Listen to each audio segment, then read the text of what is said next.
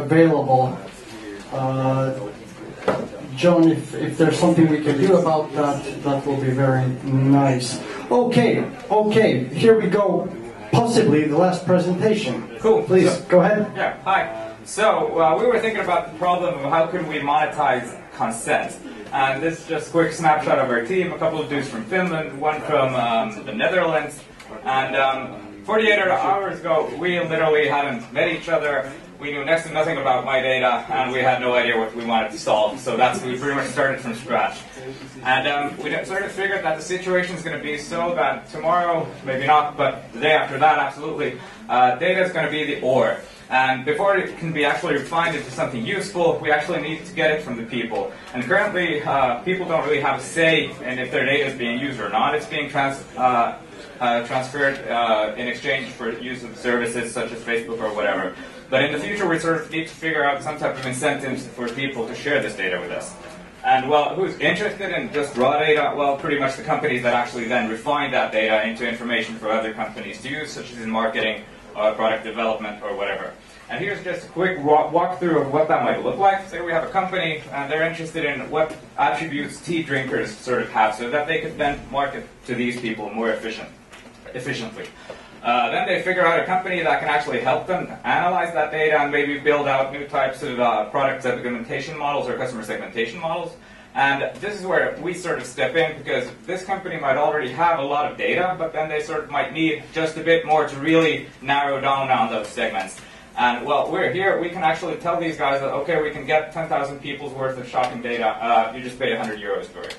Uh, after this, we'll then try and ping a My Data operator and ask it, do you actually have this type of data from how many people? Let's say Telia runs one of these um, operators, and they say that they've got 100,000 users worth of this data. And like, okay, cool. Uh, let's see if these people will then be interested in trading that data not for money, but for lottery tickets. And maybe in the future, the exchange could be sort of valued uh, based on a stock model example, for example, uh, like um, on demand and supply, but that sort of needs enough uh, transactions for the price actually to be calculated in the future. Well, okay, two people said yes, one said no. We kept on going with this, and finally we got to 10,000. And okay, now we'll have consent from the My Data operator, go to the source, they'll give us the data for these people, and then we'll sort of give it back to the data analysis company, like here's the data you asked for, cool, we got the 100 euros, they'll refine it, get a lot more from it, uh, from the end customer. Uh, we did some really quick samples. We've only got a little time, so I'll just show the video of how this might look at from the uh, end user perspective, or who's actually giving consent. Uh, so, basic example, which could be provided by my data operator. Log in real quickly, uh, quicker, six five seconds. Choose what sources of data they're interested in, and then pretty much tell them I'm done.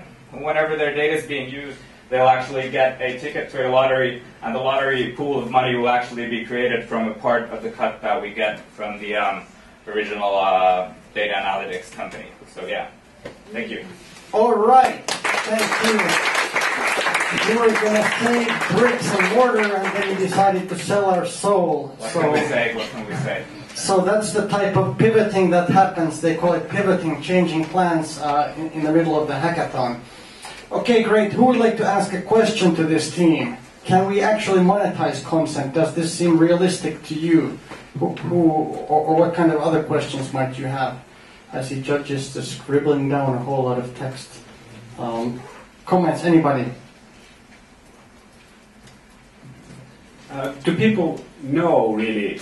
Do they want to give away their data? Do they? How much work do I need to do uh, to you know tell, tell them that okay you can use use my data? Well, hopefully in the future, I mean, once we have this whole uh, data, my data operator system or ecosystem in place, uh, then people will obviously become aware that there's actually some third party or, uh, who's keeping the consent data. And then after that, it will be fairly easy for us to reach you via these operators and sort of tell them that you could actually start monetizing your consent or your data. Okay, and I would give consent to my data if I get winning lottery tickets. Okay, wait, one more. This sounds good, and uh, only thing that I'm worried of, uh, if I were to sell my data for some uh, third party, I'd like to be sure that uh, it uh, would be totally deleted after the use. Yeah, uh, I'm pretty sure that that could sort of be factored into, for example, the contract details that exist between us once we sort of transfer that data over to, say, the data analytics company or the, say, the consumer product company that's going to use that for market research purposes. And then if they sort of slip beyond that line, I guess we'll then start lawyering up. Okay, thank you, thank you. Sell your soul, sell our soul. Which one was it? I forget. Um, selling souls. Uh, um, closing out our pitching session. Let's